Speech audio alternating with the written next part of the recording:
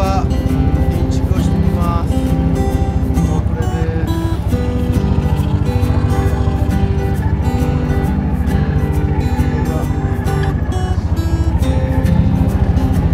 結構収納がたくさんあって 収納がいっぱい。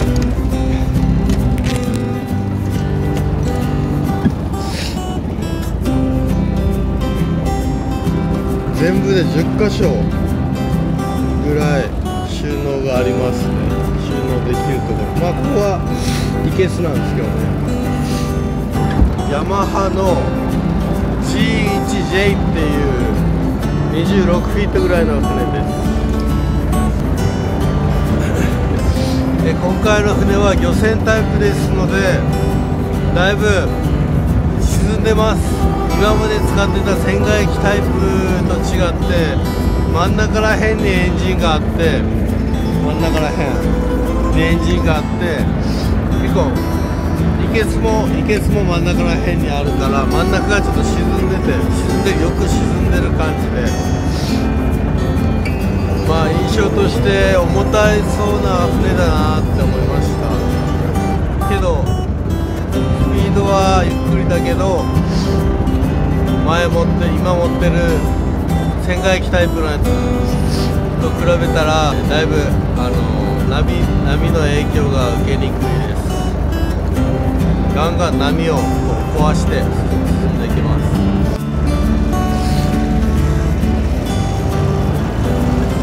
ずっと今まで船外機タイプに乗ってきたんでこの選手が普通に走る分にはいいんですけど選手がだスピードを出して選手が上がってきたらなんかエンジンが真ん中にあるからか知らんですけどなんかこうなんかバランスが悪いのかな。なんかちょっと選手が上がってきたらちょっとスピード出しすぎるのが怖いですね。はいどうも。釣れないです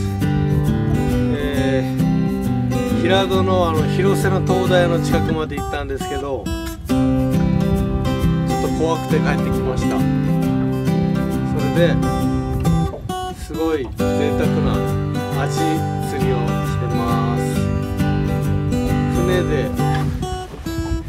船で平戸でソルティガセットに落とし込みで。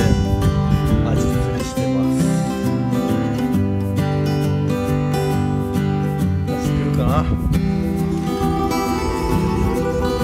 金かかりますね。お疲れ様です。今日は釣れないことが分かりました。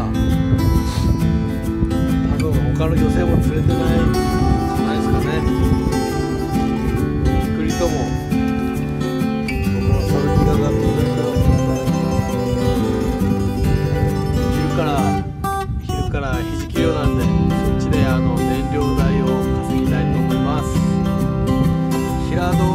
結構反応ありましたね。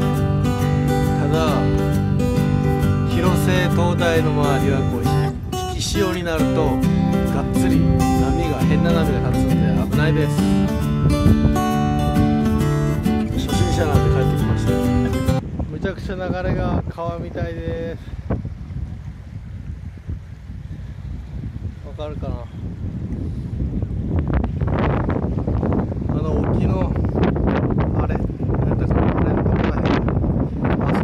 いぶ荒れてます。引き潮の時引き潮の時は結構流れがたまらんです。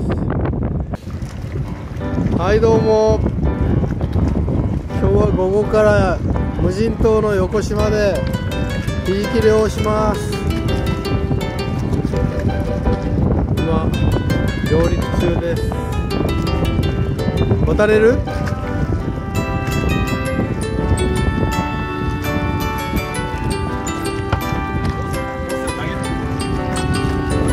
こでも結んでおかよ停車完了。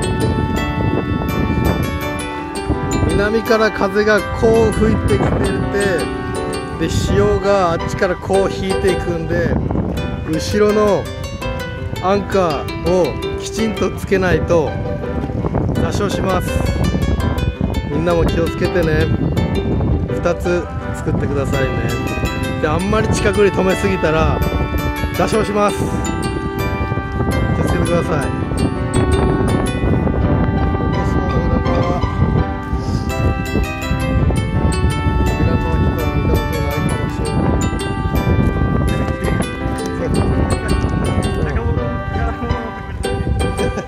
いやあれ多分塩で流されるって、ね、まあ下にはもうないだろうね。ない。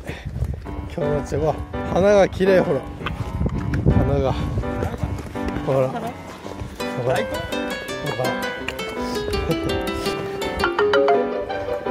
じゃんけんする？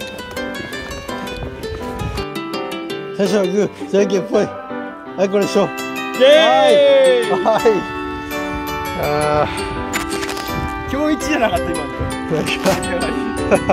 そうね